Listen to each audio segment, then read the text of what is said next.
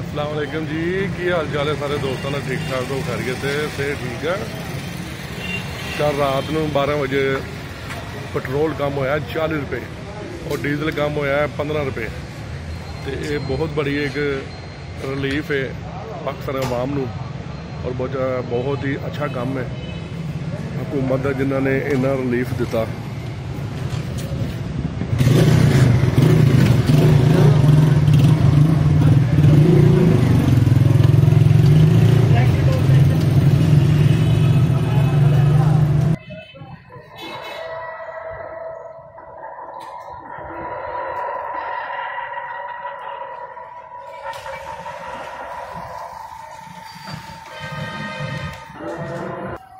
ਹਾਂਜੀ ਅਸਲਾਮ ਵਾਲੇਕਮ ਜੀ। ਵਾਲੇਕੁਮ ਸਲਾਮ ਜਨਾਬ। ਹਾਂਜੀ ਕੀ ਨਾਮ ਹੈ ਤੁਹਾਡਾ? ਸਾਬਰ ਭੱਟੀ।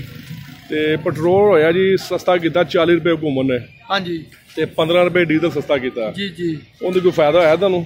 ਜਨਾਬ ਉਹਨਾਂ ਉਹਦੇ ਨਾਲ ਆਵਾਮ ਨੂੰ ਬੜਾ ਫਾਇਦਾ ਹੋਇਆ 40 ਰੁਪਏ ਲੀਟਰ। ਉਹ 5-10 ਰੁਪਏ ਨਹੀਂ ਹੈ ਵਾ 40 ਰੁਪਏ ਲੀਟਰ ਇਹਨਾਂ ਨੇ ਸਸਤਾ ਕੀਤਾ ਹੈ ਵਾ। ਉਹ ਸਾਡੇ ਵਾਸਤੇ ਬਹੁਤ ਫਾਇਦਾ ਹੋਰ ਵੀ ਜਿਹੜੀ ਮਹਿੰਗਾਈ ਇਹ ਘੱਟ ਹੋਣਾ ਚਾਹੀਦਾ ਜਿਸ ਹਿਸਾਬ ਨਾਲ ਪਹਿਲੇ ਸੀ ਉਸ ਹਿਸਾਬ ਨਾਲ ਮਿਲਣਾ ਚਾਹੀਦਾ ਹੈਗਾ। ਜਿਸ ਹਿਸਾਬ ਨਾਲ ਅੱਜ ਤੋਂ 10 ਸਾਲ ਪਹਿਲੇ ਸੀ ਉਸ ਹਿਸਾਬ ਤੇ ਉਸ ਲੈਵਲ ਤੇ ਇਹਨਾਂ ਨੂੰ ਆਣਾ ਚਾਹੀਦਾ ਹੈਗਾ। ਹਰ ਚੀਜ਼ ਘੱਟ ਕਰਨੀ ਚਾਹੀਦੀ ਹੈਗੀ। ਚੀਨੀ ਪੱਤੀ ਹਰ ਚੀਜ਼ ਆਟਾ। ਲੋਕੀ ਜਿਹੜੇ ਹੈ ਵਾ ਇਸ ਮਹਿੰਗਾਈ ਤੇ ਬਹੁਤ ਪਿਸ ਗਏ ਨੇ।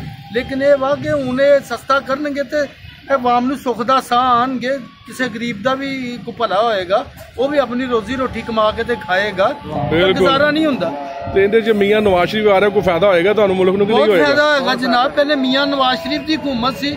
ਤੇ ਇਨਸਾਨ ਜਿਹੜੇ ਸਾਰੇ ਗਰੀਬ ਗੁਰਬਾ ਵੀ ਜਿਹੜੇ ਹੈ ਸੀ ਸਾਡੇ ਵਰਗੇ ਵੀ ਹੈ ਸੀ ਰਕਸ਼ਾ ਡਰਾਈਵਰ ਵੀ ਅਸੀਂ ਵੀ ਸੁੱਖ ਦੀ ਰੋਟੀ ਖਾਂਦੇ ਸੀ ਔਰ ਅੱਛਾ ਕਮਾਉਂਦੇ ਸੀ ਔਰ ਅੱਛਾ ਸਾਡਾ ਗੁਜ਼ਾਰਾ ਹੁੰਦਾ ਸੀ। ਇਹ ਜਿਹੜਾ ਹੁਣ ਸਿਲਸਿਲਾ ਇੰਨੀ ਮਹਿੰਗਾਈ ਕੀਤੀ ਹੈਗੀ ਇਹਦੇ ਨਾਲ ਤਾਂ ਰੋਟੀ ਖਾਣੀ ਮੁਸ਼ਕਲ ਹੋ ਗਈ। ਬਿਲਕੁਲ ਠੀਕ ਹੈ। ਹੋਰ ਕੋਈ ਪੈਗਾਮ ਦੇਣਾ ਹੋਵੇ ਤਾਂ ਹੋਰ ਦੇ ਦਿਓ। ਔਰ ਸਾਡਾ ਪੈਗਾਮ ਇਹ ਵਾ ਕਿ ਇਸ ਹਕੂਮਤ ਗਰੀਬ ਦਾ ਬੱਚਾ ਨਹੀਂ ਨਾ ਪੜੇਗਾ ਤੇ ਸਰਮਾਇਆਦਾਰ ਦਾ ਵੀ ਬੱਚਾ ਨਹੀਂ ਪੜੇਗਾ ਅੱਲਾ ਦੇ ਹੁਕਮ ਦੇ ਨਾਲ। ਇਹ ਕੋ ਆਵਾਮ ਦੇ ਬਾਰੇ ਸੋਚਣਾ ਚਾਹੀਦਾ ਹੈ। ਇਹ ਸਕੂਲਾਂ ਨੂੰ ਫਿਰ ਉਸੇ ਹਿਸਾਬ ਦੇ ਨਾਲ ਬਹਾਲ ਕਰਨਾ ਚਾਹੀਦਾ ਜਿਸ ਤਰ੍ਹਾਂ ਪਹਿਲੇ ਅਸੀਂ ਫ੍ਰੀ تعلیم ਸੀ, ਫ੍ਰੀ ਸਾਰਾ ਕੁਝ ਸੀ।